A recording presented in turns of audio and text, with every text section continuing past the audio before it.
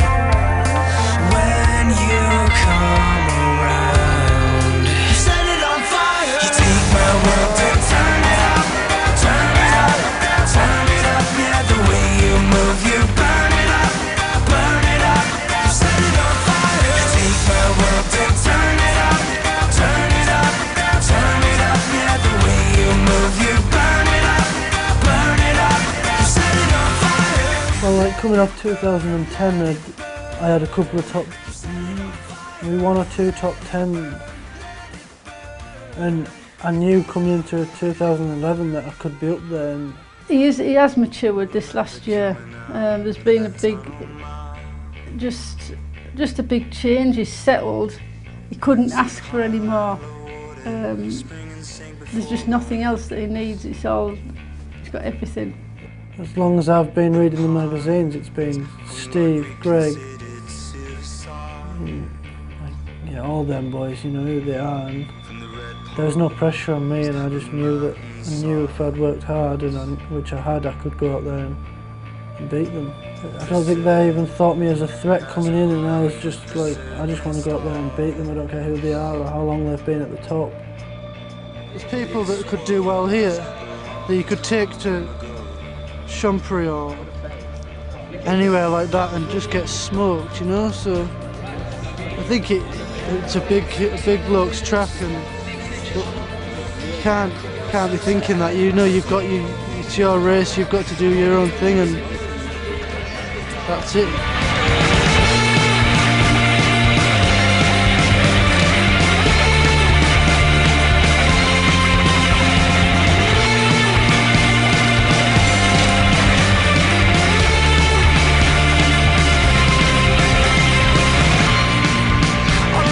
I was so frustrated about South Africa. There's a lot of things that happen outside of the racetrack.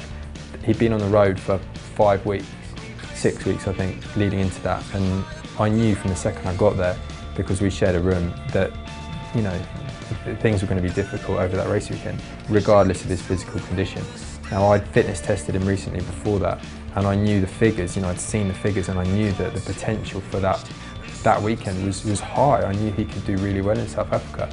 I think I matured a lot as a rider after a first season in senior after 2010 and so we didn't have a good first race but I came home and worked and worked hard for second race at Fort William and obviously that was a suc- successful race and I think once you've got that good one under your belt you can keep keep it going and you know you can do it so you, you go out there every weekend and you hope for a good race.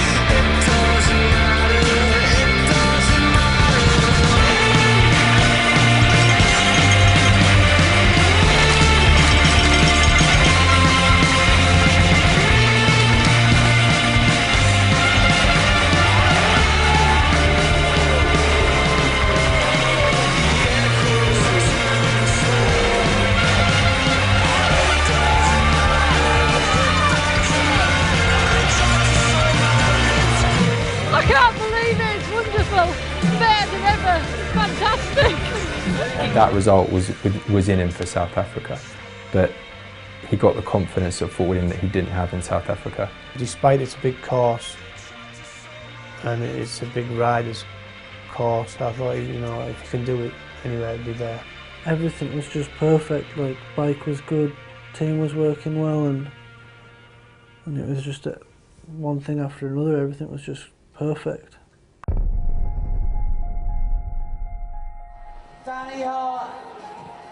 Small but so, so powerful.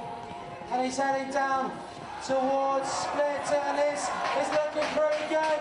This is looking pretty good for Danny Hart. 150, oh, he's going to smash it. He's going to be so much quicker. Danny Hart. I must have when that first split come up, I thought he could do it. He can do it. Uh, I didn't want to watch, but I thought I have to watch just for him because if he asks me and I didn't watch it, and I am glad I watched it now, I was made to watch it. Champery was just so nerve-wracking, just unbearable really. And with it being on the screens, you could see everything.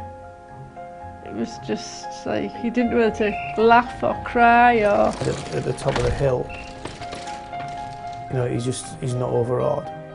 He's nervous, but it's the right sort of nervous. He just doesn't go smash the first corner and crash his brains out. He can handle the nerves that he's got. Oh yeah, I remember it like it was yesterday, you know, like I sail, I was in the start and then I looks down and there's just water just all the way down. And we could be seeing a new best time here as split number two drops down onto the fire road and uh, attacks on the roads, pedals as hard as he can, down into the grass. 302.6 is the split time of Spagnolo and it's going to be quicker by my how much and the answer is 5 seconds quicker oh my god 9 seconds and time for the Danny Hart Et 9 secondes d'avance pour Denis Hart. Danny Hart maîtrise de la course. Danny Hart is a man of very few words, talks very well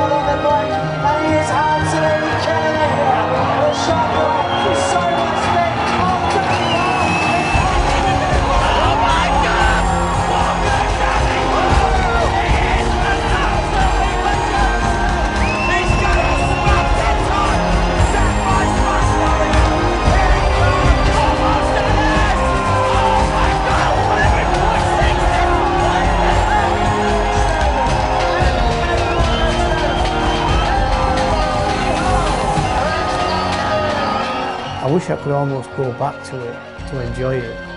I'm not saying I didn't enjoy it, but it was just such a, a weird feeling. I remember looking round and just looking up at the board and I was like, that, there's only four more to come. And there's obviously been a lot of fast riders already come down and I just put 12 seconds into, nearly 12 seconds into them and and I looked around and I could just, everyone, I just knew everyone like and I was like, whoa, everyone's just going wild and uh, it was, I don't know, it's just a real sort of thing and that's hard to remember all that. From then on, it was just like a blur sort of thing. But yeah, it's just like I sat down on the hot seat and Blinky says, "I think you've done it. I think you've done it." Just couldn't believe it at all. It was like, oh God, he's going to be on the podium. And then when he sort of realised that he was going to win, just out of this world.